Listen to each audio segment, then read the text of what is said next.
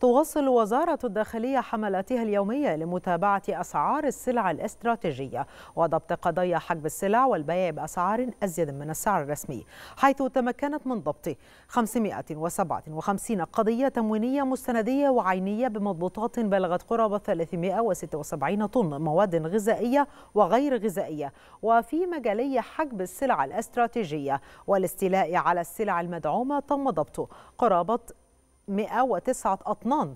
أما في مجال حجب أرز الشعير والأبيض وعدم توريد أرز الشعير والبيع بأزيد من السعر الرسمي للأرز الأبيض تم ضبط قرابة 254 طنا. وفي مجال البيع بأزيد من السعر الرسمي للسلع الغذائية تم ضبط أكثر من 13 طنا. وفي مجال قضايا المخابز تم ضبط 6200 و207 قضايا من بينها 1553 قضية خبز ناقص الوزن و1349 قضية خبز غير مطابق للمواصفات. وفي مجال القضايا التموينية المتعلقة بغش الأعلاف تم ضبط ثماني قضايا بمضبوطات بلغت قرابة 288 طنا.